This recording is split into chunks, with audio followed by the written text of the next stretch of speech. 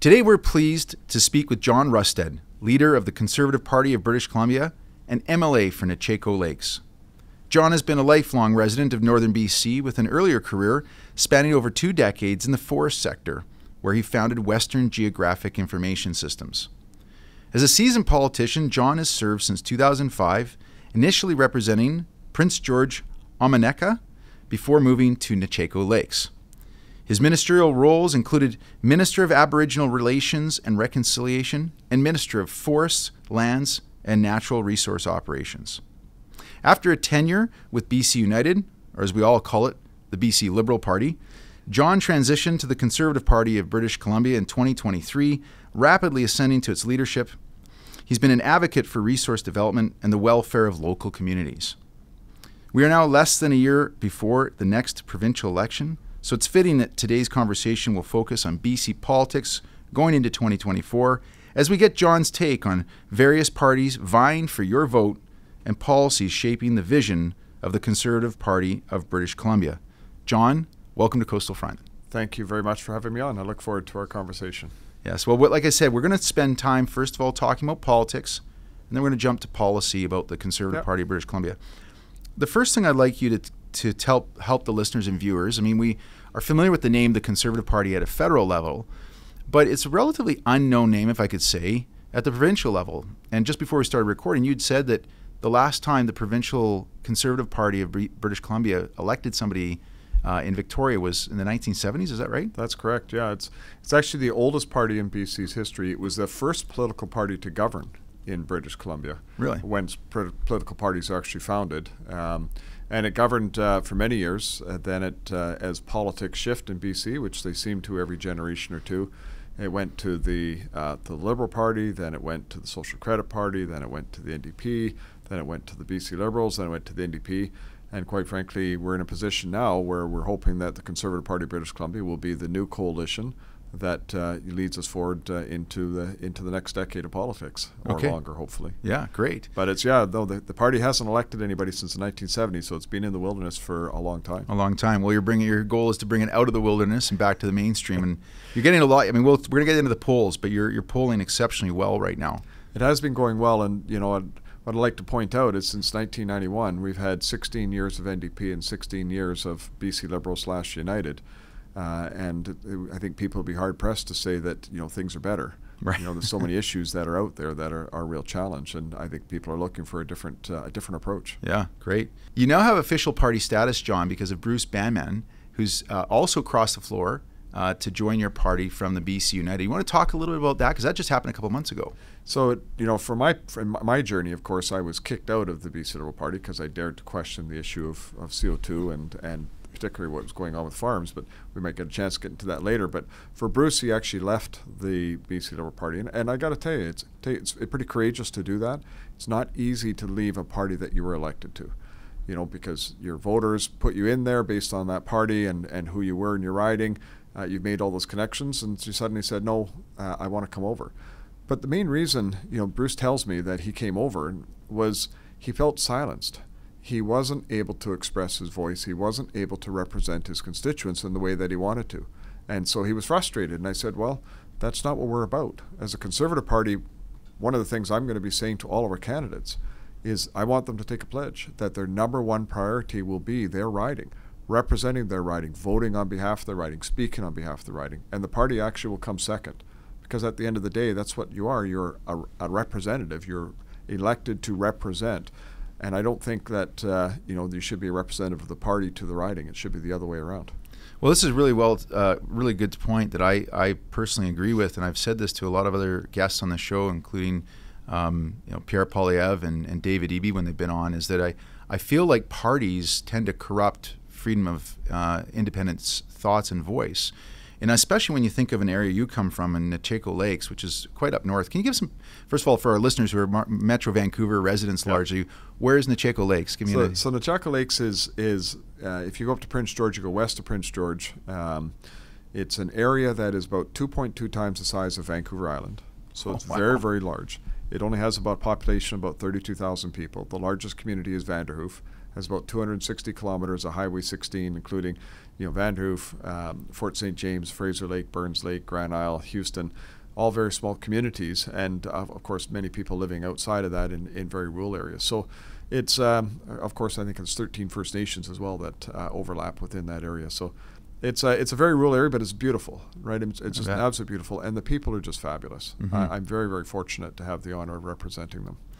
Yeah, absolutely. And, and so, so speaking to your idea of, of uh, having anybody who's going to run under the Conservative Party of British Columbia take a pledge that they represent their riding first, you're representing a riding that is drastically different from somebody who maybe is, you know, living in downtown Vancouver. Yes. Um, and and it does seem like parties tend to to uh, you know I say I use the word corrupt, but they tend to silence those independent voices that may be needed in places like where you live. Can you speak to that? Sure. Well, and this was the reason for me being kicked out of the of the Liberal Party was they had a specific agenda that they wanted to push.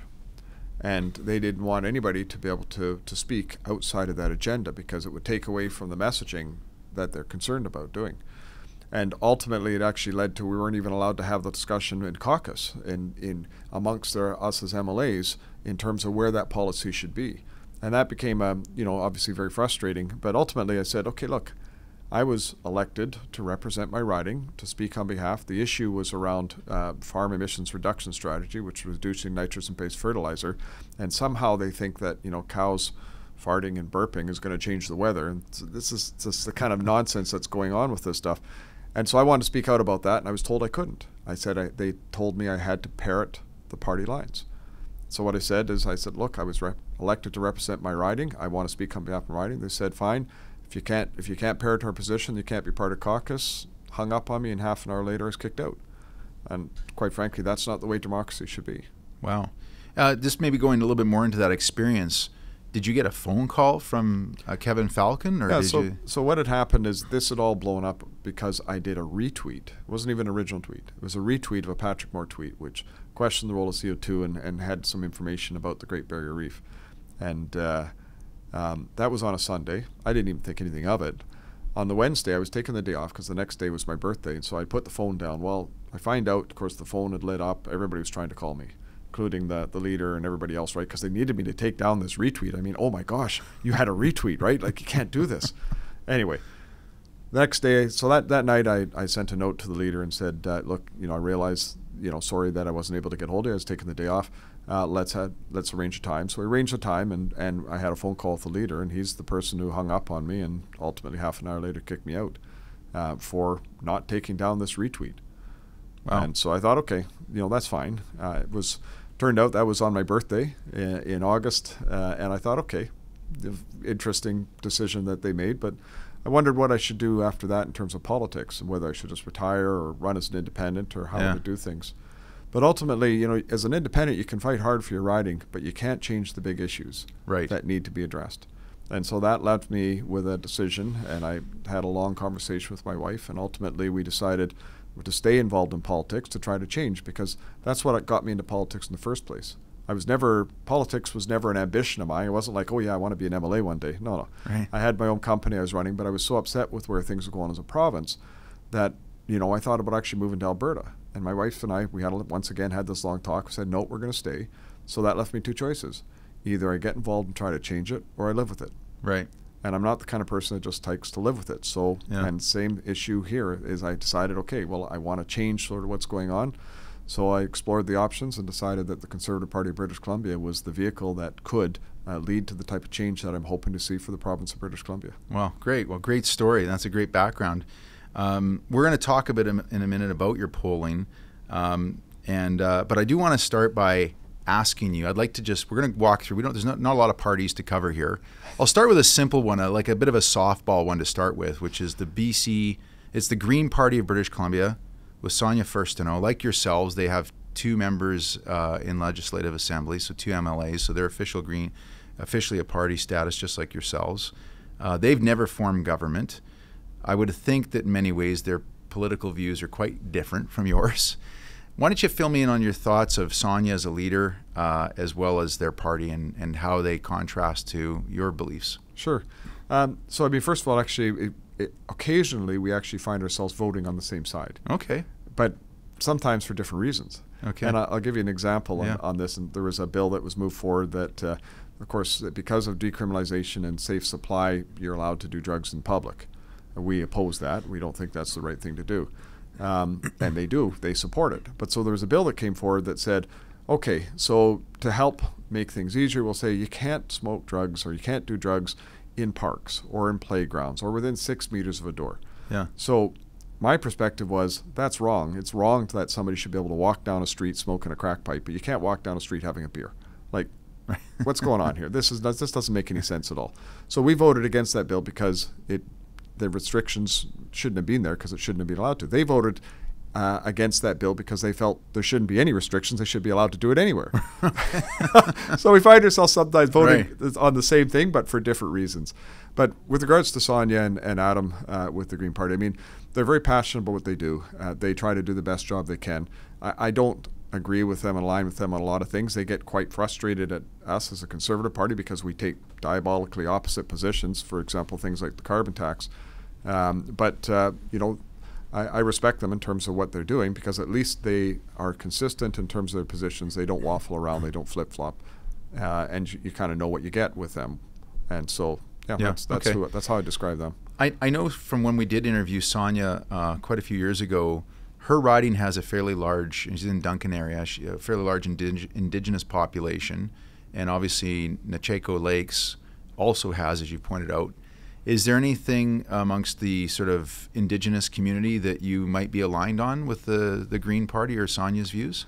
Um, not really, and and partly because they believe the solution to help with all of the challenges for uh, for the indigenous population, for First Nations, is more government support, more government intervention. And what I actually believe, and you know, as, as minister uh, for Aboriginal Relations and Reconciliation, I signed 435 agreements with First Nations across the province. And what I saw is where we did these large economic agreements, we saw a transition of the community. We saw the number of suicides drop. We saw the number of, of, of social issues drop. We saw employment go up. And that's because they were giving people hope. And so right. our, our position is that we should be trying to create those opportunities. You can't have reconciliation unless you have economic reconciliation. They need to be able to engage. They need to be able to have those opportunities. They shouldn't be controlled by government. So it's a little different view from, from their perspective. Right. Okay. Good. All right. Well, enough about the Green Party of, of British Columbia. I want to jump to the current governing party, the NDP. They have a majority government. Um, they will. We're all going to see an election by the latest October of next year. Sounds like you think there may be an election coming sooner. They've opened a window for an election in March, uh, which is quite interesting. and how do you? What's your what's your take from that? So for us reason, laymen's out there that aren't so politically engaged. So, so the reason why I say that is normally the legislature comes back in the second week of February. They've decided to delay that and not bring it back to the third week. Normally, you would give a throne speech and you would have an opportunity then to talk about your vision, lay it out, people speak to it in the legislature, and then you would go to your budget. And then the same thing, you would talk about it, you have the debate around it, have voting on it. What they've done now is they've delayed coming in a week. They're putting the throne speech on a Tuesday, then they're putting the budget speech on a Thursday. they're jamming them both in and leaving a window for the mandatory four days, five days of debate on the budget, which then wraps up on the 29th of February as a confidence vote. That leaves them free and available to then drop the writ and go into election and not have to do the line by line estimate scrutiny of their budget. So that's the window they and whether they go or not will depend on the polls and mm-hmm. you know whether they think it's right for them. But that's where we're worried about, and we we're cons- we think that's likely what they're going to do, and we're preparing for that. Okay.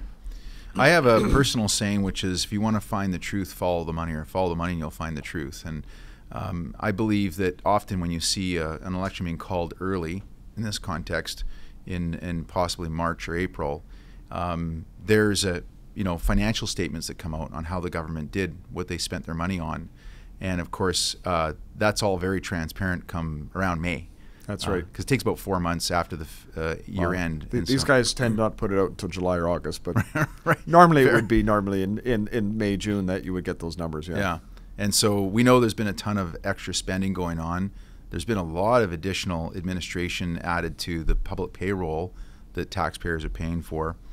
Um, I'll speak. I'll stop for a moment and just let's let's hear. Let go ahead. So, I'd, you know, it's, it's interesting you bring up the budget, right? Because they're they're running fourteen billion dollars in deficit over three years, six point seven billion dollar deficit this year, and clearly they're out just throwing money off the back of the truck in terms of how they're how they're spending.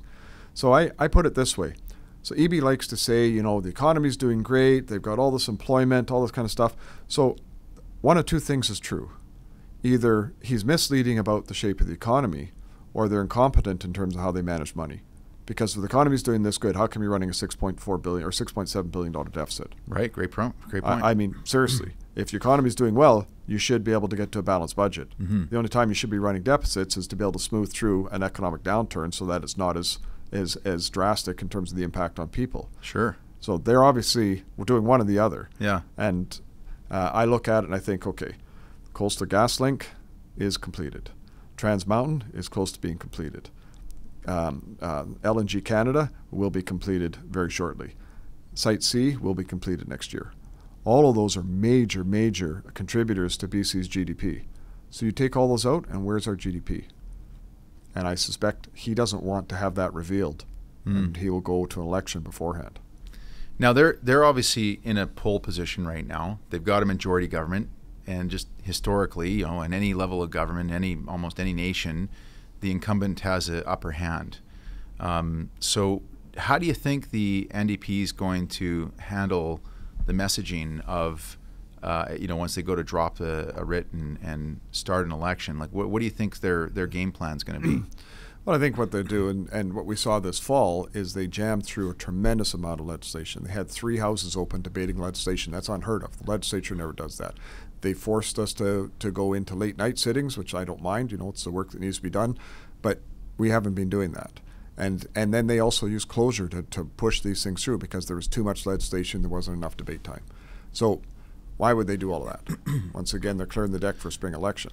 But in the spring, I suspect what they're going to say is most of what they did this fall was around housing. And they're going to say they need a clear mandate to go forward with their authoritarian approach on housing and, and the approach that they think they want to do. And they want to go to the voters and say, give us that mandate. Uh, and and that's that's going to be fun. I'm actually looking forward to debating that as, as we get into the election. But it's clear in my mind that's how they're trying to set up uh, the election in 2024.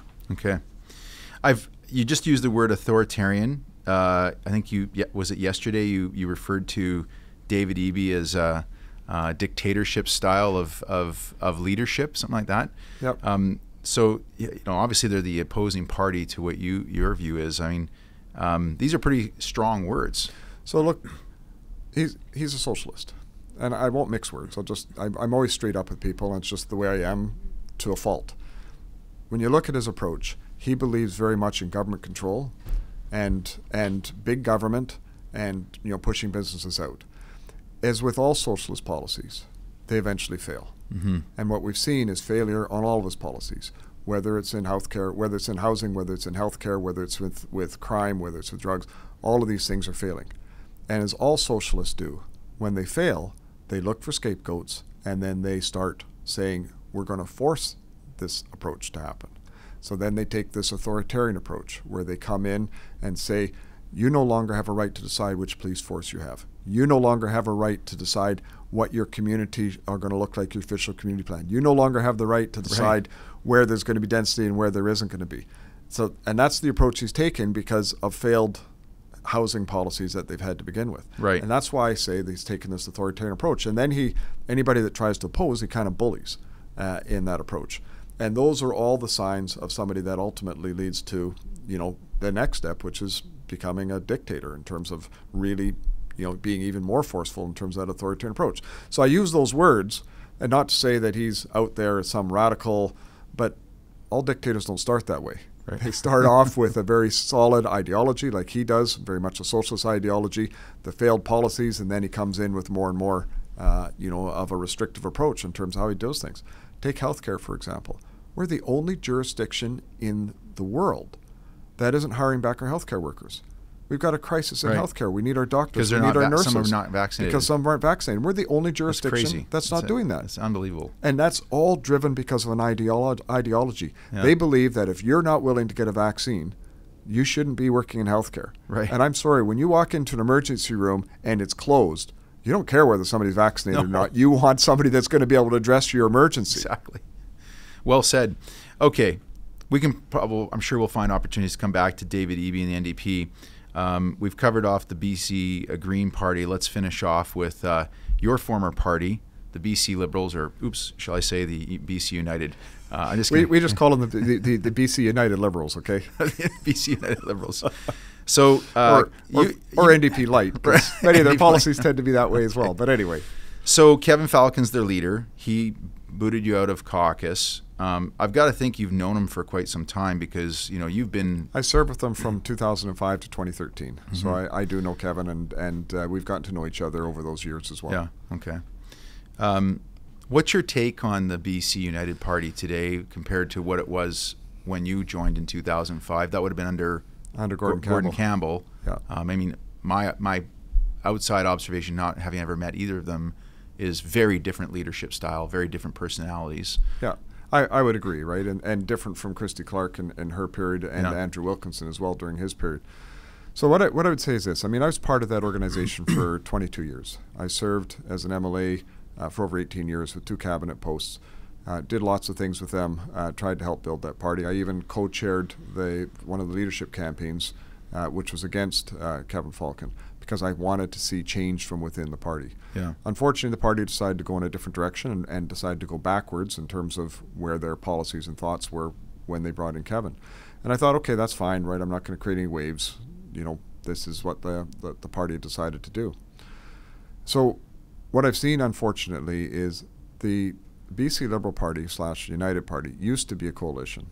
It used to be, you know, you had free votes. It used to be they actually allowed people to speak up. Mm-hmm. And after Gordon left, that all started to change. And I'm not taking anything away from Christy. I served in cabinet with Christy. She was great. She was an absolutely great premier. I loved working with her. But all of that now has eroded away and to the place where they don't have free votes. In the legislature, if you want to vote against their position, and uh, and they basically say you have got two choices. You either have to come in and vote with our party, or don't come into the chamber. You can't vote. Really? So there was a there was a vote uh, last spring on uh, a motion that the NDP had put forward. The motion was to that you to condemn the freedom rallies and to support all of the actions and all the things measures that were taken for COVID during COVID. And that included, you know, loved ones dying in a hospital without anybody being able to come in and see them. That included yeah. all these types of things. And so there was a vote on this in legislature. I, I actually used some political maneuvering to force the vote. They all voted in favor of it with the NDP there was about seven or eight of them, I think around that number, that didn't want to vote in favor of it. They were told to leave the building. Really? They were told not even to be in the building, to go out, go golfing, or go do whatever you want to do. They weren't allowed to come in and hmm. vote. And that to and me, the culture not, still stands today. And, and, that's that's what that's the culture that Kevin had brought in, in terms of it. And so it's no longer the party that it used to be. And quite frankly, it's it's I don't want to be really unkind, but I could say it's morally bankrupt in terms of you know its positions and, and its values. Yeah. And it's flopping around trying to figure out who it is.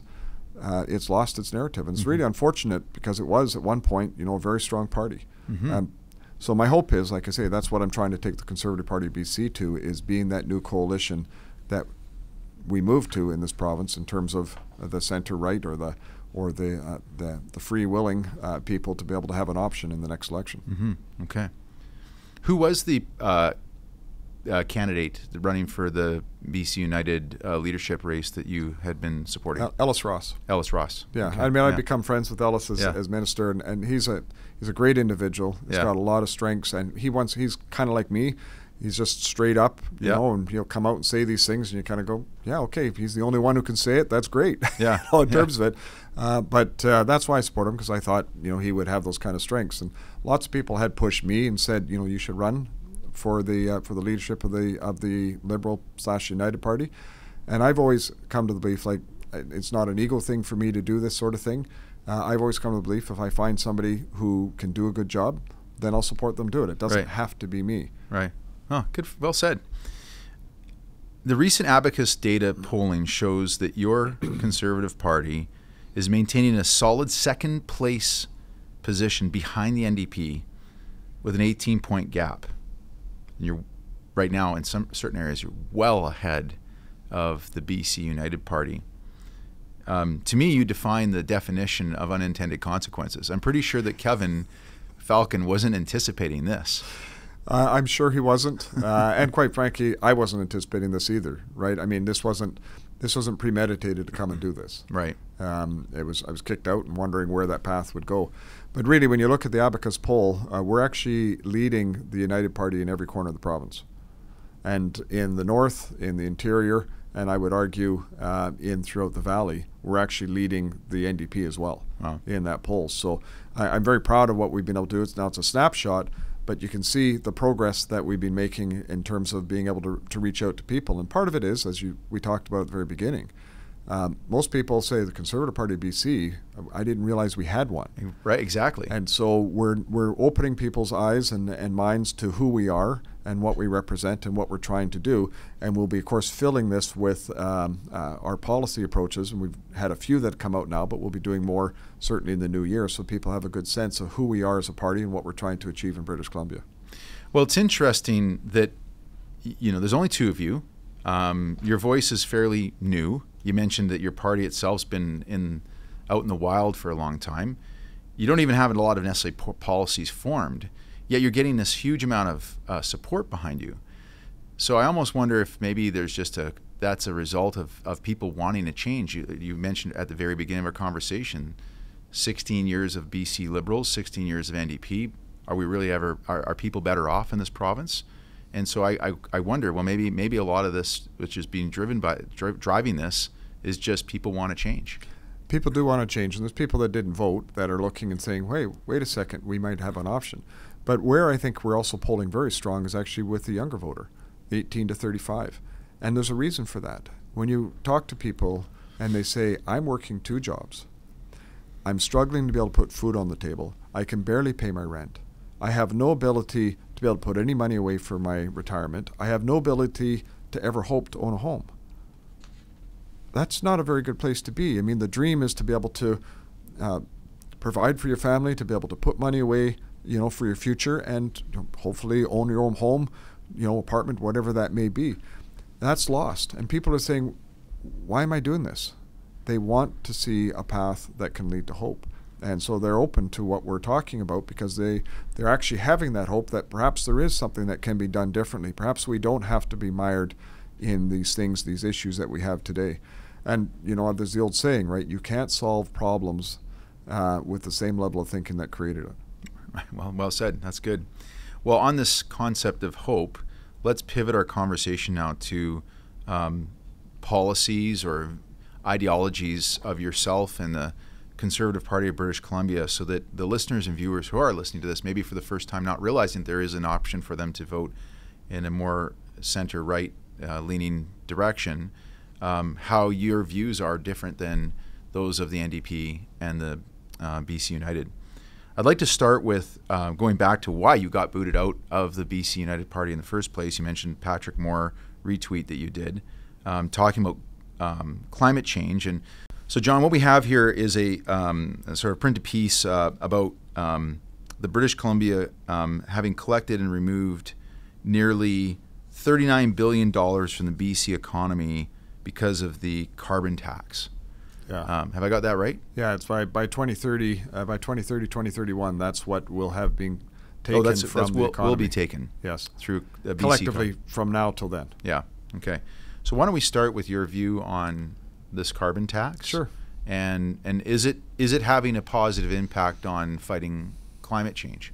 So, and everybody always asks me this question, and you haven't asked me, so but I'll answer it anyway. Yeah. So climate change is real. Yeah. Right. Our climate is changing, and even though David Eby likes to stand up and say he denies that climate change, no, no, that's nonsense. I I've always challenged him. Show me one quote, one tweet, one social media post. But of course, he never does that. He just likes to make the accusation.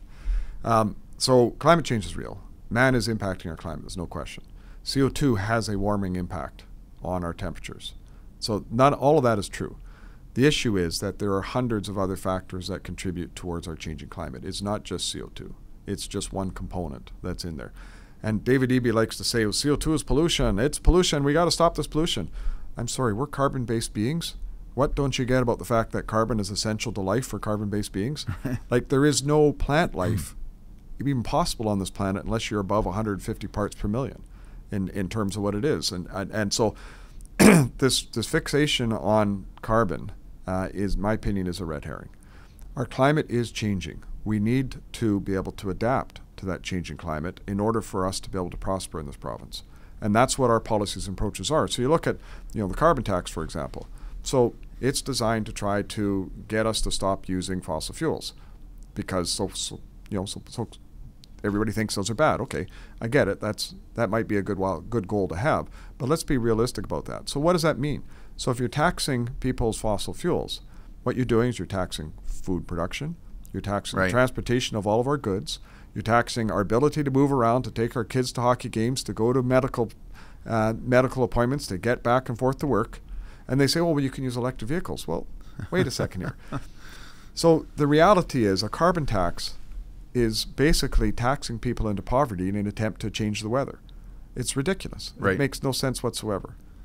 Ne- never mind the fact that it's just absolutely impractical. Well, uh, I mean, I, I drive a, Yes. a- an F one fifty Lightning. Yeah. and it's a great city truck. I can plug it in every night in my home in Vancouver, drive downtown, which is about a four kilometer drive, and drive home, and It- no problems. It ma- makes total sense. Once a year, I'll drive out to Kelowna for a hockey tournament. Yeah. And it, the range says 500 at the beginning, but I know my range is like 200 kilometers because Well- these things don't well do well if you have a payload, and they don't do well if you have to drive hills, and they don't do well if you have cold weather. Look, and I think up where you if- live, if you got turn, all three of those. If you turn on your heater, yeah, cut your range at least a half. Yeah. Or if you turn on your air conditioning, for that matter, right? I mean, this is just what it is. but you know, let's be realistic. So what it when you when you talk about the carbon tax, it's taking you know this year we'll take 2.8 billion dollars out of people's pockets. 2.8 billion dollars is hard to picture. What does that mean Mhm. for the average person? I mean, 2.8 billion just sort of rolls off the tongue, and people's people kind of lull, get lulled to sleep by it.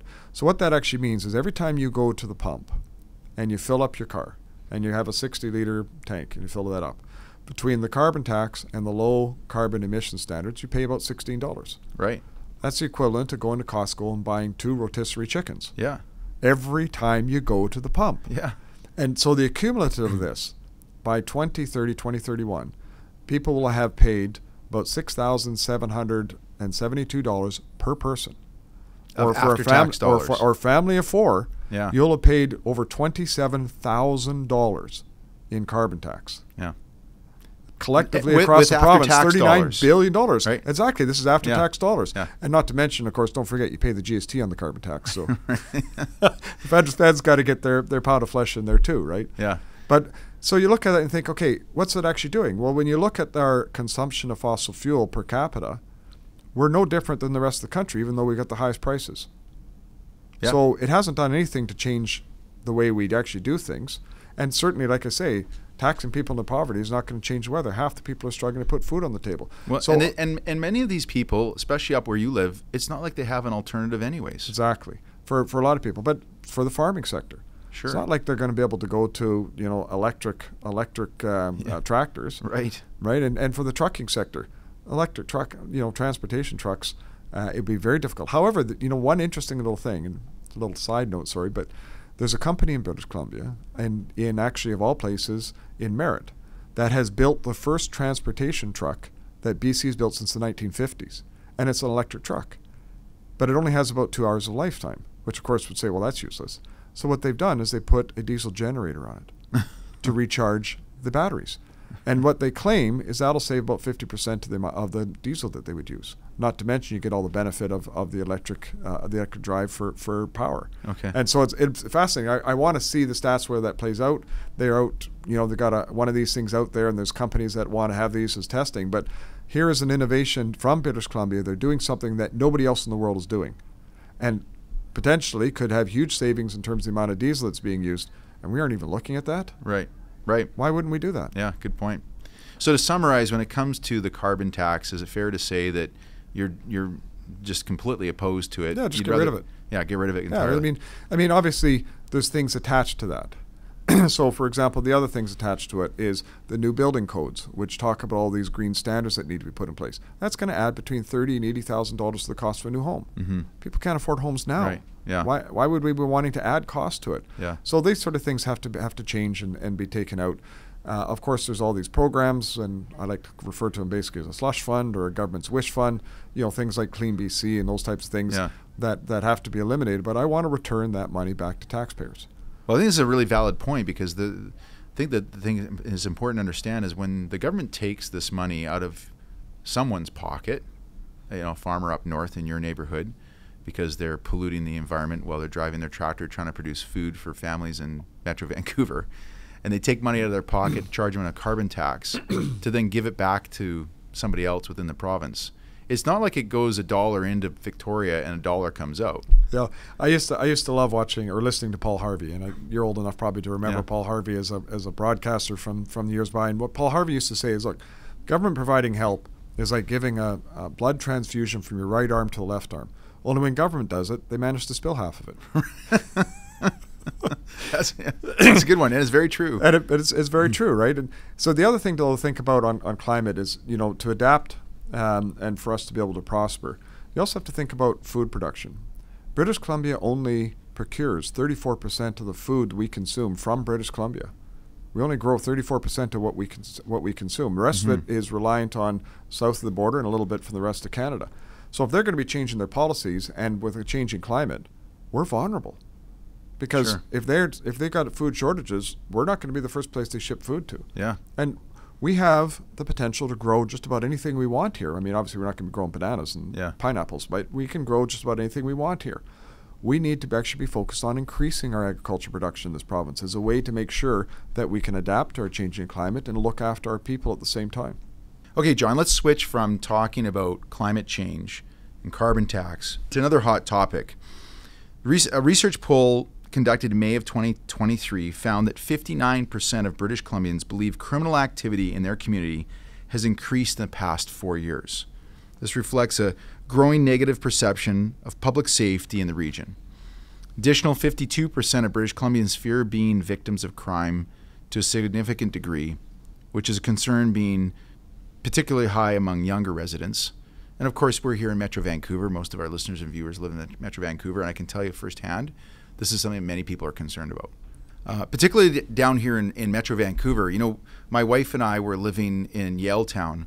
Uh, 2012, 2013, our daughters were born. She was taking them uh, 2013, 14 down to a local playground, and she noticed uh, there were people shooting up drugs in, in the playground. And she came to me and said, "Andrew, we, we got to move out of here. This is I, I can't take my we can't t- we can't take our children to a playground where there's needles." Um, you're obviously up north. I don't know if it's the same perception about crime up north, um, but why don't you talk for a moment about what if if if the Conservative Party of British Columbia was to form government, what would you do right away to address this rising concern over crime and, and concern over being a victim of crime? So I mean, this is a this is a big topic. So I hope we have lots of time to talk about we it don't because we've We got- touched on a lot. because of we got another lot of other ones. So Exactly. Let's so, get yeah. So I'll get to the Coles notes of the, of this, and and I think it's you know you look at it, and the reality is people are feeling not as safe, and there's a whole a bunch of reasons for that. There's policies that have built up over the years, and especially under this NDP, which seems to think that you know the victim, the the um, um, the criminals, the rights of criminals are just as important or more important than the rights of victims, and that's just that's just wrong. What we need to do on this is multi-pronged. So take the addiction thing out for a second because I, I want to be able to touch on that as well. But on the on the crime side, uh, we don't have enough court time. Where our courts are plugged up, they need actually to be modernized. We need actually to streamline it. COVID showed us that we can, so why aren't we doing this? We don't have crown, crown prosecution. Only one in three or one every four cases actually goes through crown prosecution. We have this revolving door in terms of in terms of bail that's putting these people back out on the streets. Yes. That's federal because we can't change the criminal code provincially, but we need to be advocating for changes to that. Uh, we actually need, as a society, to say it's okay to put people in jail for committing a crime. hmm I'm sorry. Yeah. It's okay for people to go to jail. That's the punishment. Right. There has to be Yes. punishment because right now, criminals are like getting a slap on the hand, thinking, "Well, that's nothing. Why? I'll go out and do more crime." Yeah. Right? There's no deterrent. And then the the big piece is um, we actually need to deal with these prolific offenders, these people that are just these repeat offenders, uh, particularly these violent prolific offenders. And if we cannot get them put away through the um, through the courts, then quite frankly, we should actually look at the Mental Health Act. if somebody's at risk of harming themselves or, or others, they can be held under the Mental Health Act and treated until they're no longer considered to be a risk. Okay. The province needs to actually have enough courage to say, we're going to make our seats, strafe, seats our, our streets safer. We're going to take these people off the streets. We're going to make sure they get treated. Okay. Now you got this problem with addictions as well, and and that's a little bit that's other complex. You got to get rid of this safe supply. There's no such thing as safe supply. We've got this the hydromorphone, I think it's called, one of the safe supply drugs. It's finding our way into our schools. The the addicts are buying are getting this product from the government. They're then selling it to the dealers to get the more powerful drugs. The dealers are then taking it and selling this safe supply to kids in our schools. Yeah. And one of our one of the people who's running for us is a doctor on the North Island. She told me she one of and she specialized in in treating addictions. Uh, one of her clients that she had one of the patients come in was a high school student, and she asked, "Well, how many other people in high school are are addicted to this hydromorphone?" And he said, "Well, at least 30." This was a small high school.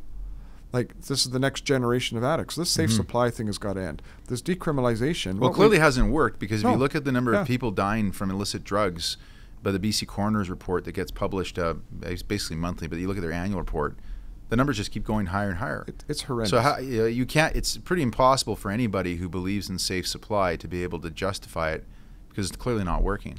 And, and and the same goes with decriminalization. I mean, we haven't been arresting people for simple possession or use for decades. Right, exactly. But what decriminalization has done is it's taken a tool away from the police. When the police see cars going back and forth to a dealer, you know, drug dealer, Yeah. they can no longer stop that car and seize the drugs and use it for evidence to go after the dealer. Right. Because it's now legal for them to have that. Exactly. And so you've taken a tool away from the police to actually even go after the dealers. Yeah. Absolutely crazy. So on the addiction side, what we need to do is we need to be having a range of services, everything from doctor prescribed treatments to voluntary treatment to involuntary treatment, and quite frankly, to long term treatment, because there are some people who are um, you know, basically damaged beyond repair, and, Yeah. and it is inhumane to leave them living on a street in in urine and feces and, and those conditions. We should actually have a place for them to be able to be to, to see to receive the treatment that they can have and have at least some sort of quality of Yeah, life. I completely agree. I mean, I, I think it's um, unfortunate when people want to pretend or think so, somehow think that every single person on the street could eventually just get a job and, and live a, a healthy life.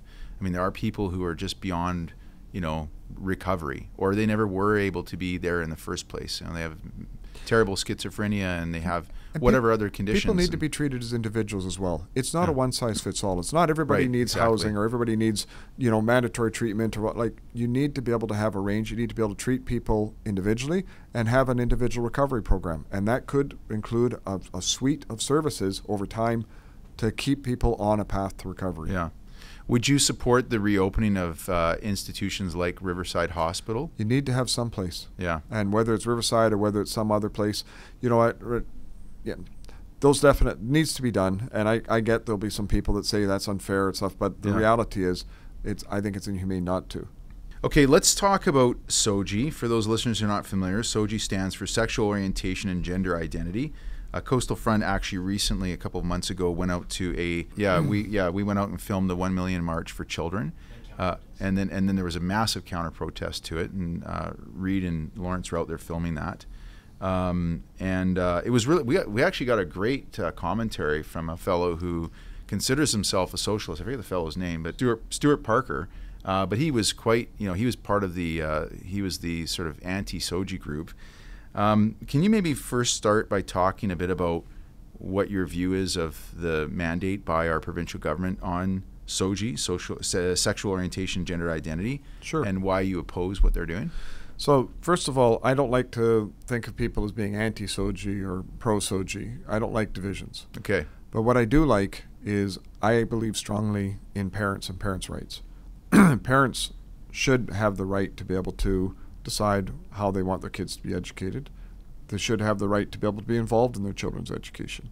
And the SOGI and the approach that's in there is actually taking that away. The second thing is SOGI as itself has become very divisive Mm-hmm. within our schools and within our society. And so if something is that divisive, why are we doing this as a government? Yeah. Like we shouldn't be doing this. It, it needs to be removed. And the third thing I think that's most important is everybody should be able to feel safe in our schools. if a nine-year-old girl, and I, I talked to uh, parents in in Kelowna that said this, a nine-year-old girl's going to school and holding it and running home to go to the bathroom because she doesn't feel safe. That's not right. Mm-hmm. Children should be able to be safe. You know, a six-year-old boy comes home and says, "Grandpa, is it okay that I'm a boy?" These are kids. Let them be kids. Yeah. Our school needs to be focused on teaching kids how to think, not Mhm. what to think. Right. And it should be refocused on academics, providing kids with the best tools and options they can for their future. And let's leave the social issues for families to deal with. Mhm. Let's also make sure our schools are safe, to make sure there's a strong anti bullying program and support that needs to be in there for all students and families where there is those issues as well. But let's not, you know, create these divisions and bring it to an end. Yeah, absolutely. You know, as I mentioned earlier, I have a 11 and 12, uh, t- 11 and 10 year old daughters and a seven year old son, and I'm listening to my daughters coming home from school, and they seem often confused. Thankfully, my wife and I are kind of setting the story straight on how things work in the real world. Uh, but they often come con- home confused, thinking, um, you know, are they gay? Or are they trans? Are they? you know when you got when you got a grade one or two student who's presented with a, with a piece of paper on the table and with a picture of a boy and a picture of a girl and a line between them and ask where are you on the spectrum huh I, I'm sorry like what yeah, exactly. Because I can tell I can tell you from my seven year old boy's perspective, some days he dresses up as a unicorn. and, and and what's wrong with that? that that's great let kids be kids Yeah, right exactly. and as they get older and find their path in life and support them in terms of who they are and what they're trying to be then let them make decisions as to where they go but let's let kids be kids let's not confuse children with these sort of things. yeah, absolutely. and and quite frankly some of the material that is in the libraries in these schools and Yeah. that's available Yeah. i find it incredibly offensive Yeah. and and just the language that's used we it in seems the, like nobody wants to stand legislature and speak up against well, this, though. It's, well, it's because I, of the I cancel watched that culture. piece of your. It's yeah. because of the cancel culture. And, you know, so Bruce Banman, you know, he, my, my colleague stood up in the legislature and read from a book. right. Oh, sorry, that was Bruce, not yourself. Yeah, Bruce, and he, that was he read great. he read That from was- a book, and the and the speaker said, you know, sorry, you're not allowed to use that language in here. Okay, Yeah. I you know apologize. Sorry, apologize, we're using that.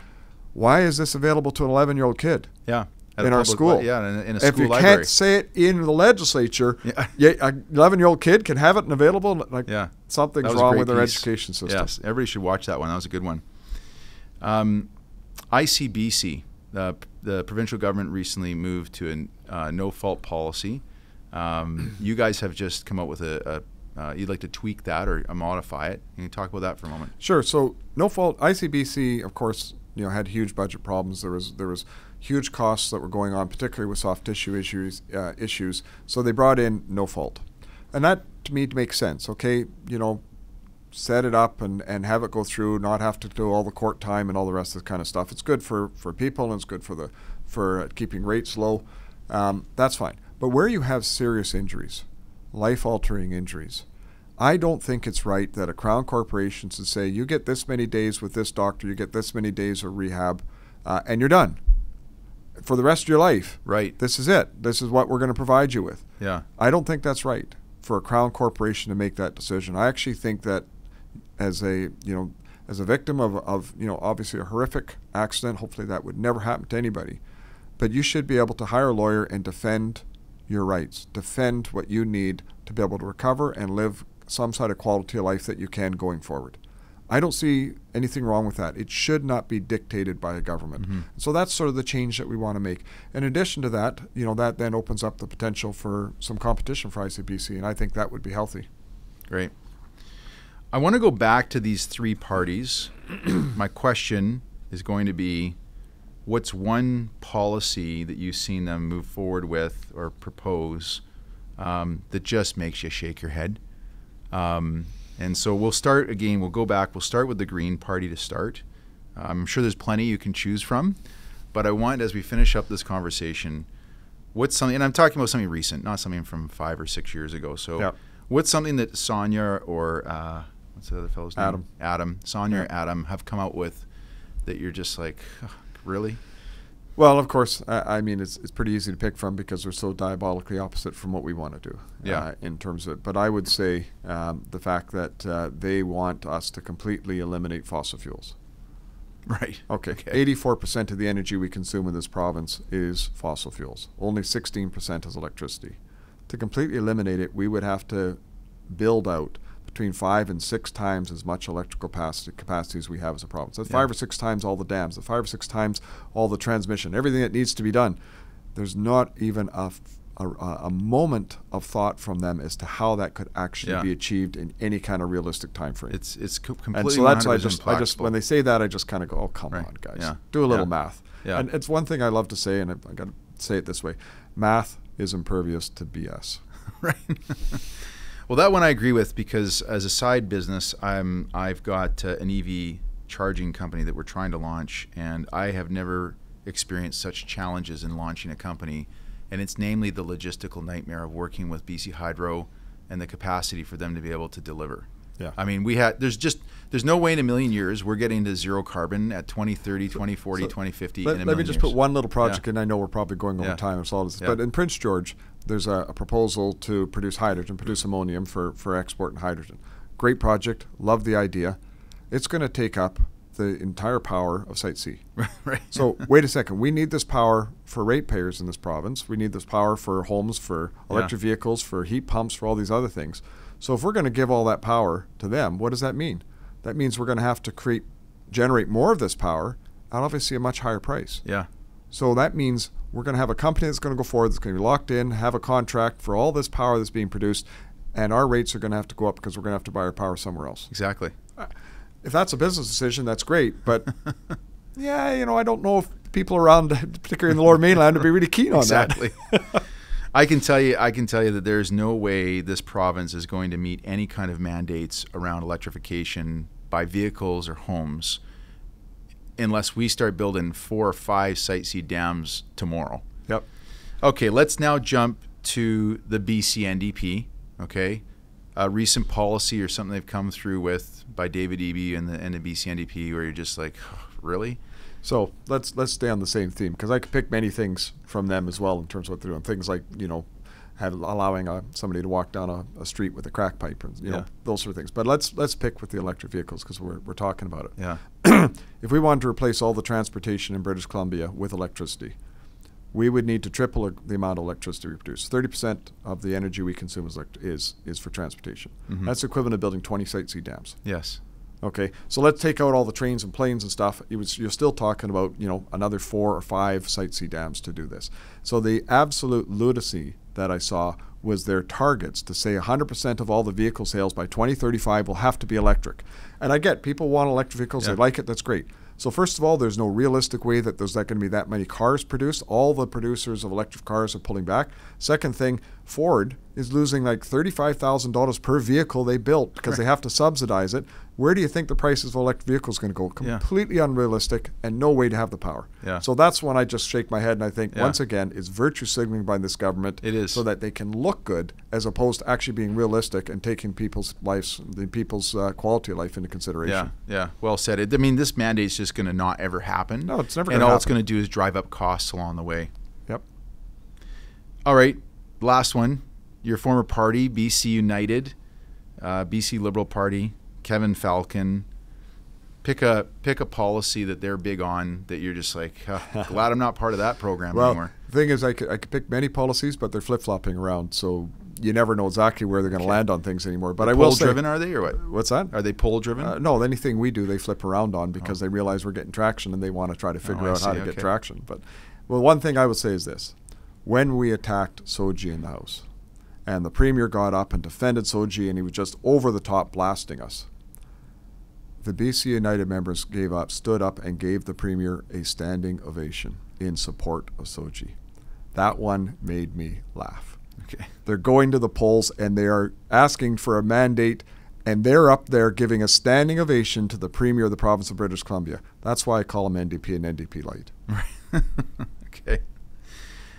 So, John, if listeners are, are watching this on YouTube or listening to it on their favorite podcast channel and they want to get involved, and it sounds like you're anticipating a, an election fairly soon, um, we're filming this in, in uh, early December, so we could be talking about elections three, four months from now. How do they get involved? What do they what do they what do they need to do? Go to conservativebc.ca, uh, become a member, sign up, help to volunteer, join some of our teams. Uh, we've got, uh, I think, close to 200 people that have expressed interest in running for us as we're building out uh, our candidates. Obviously, we're going to be running 93 candidates in the next election. So check us out. Check out what we're doing. You know, follow us certainly on social media. Get involved in some of these conversations, and I hope you know get involved in campaigns because at the end of the day, elections, democracy is made by those who show up. Right. And so, if you want change, if you want to be part of something exciting and new in this province, and uh, you know a party that you know I believe is going to be, have a have a good vision for how we can get to a much better place and how we can realize our full potential of this province, get involved. Reach out to us. We'd love to have you as part of our team. Great. Well said. John Rustad, MLA for uh, Nechako Lakes, uh, as well as the leader of the Conservative Party of British Columbia. Thank you for being on Coastal Front today. It's been a great, great Thanks for having me on. I've enjoyed our conversation. Okay. Thanks, John.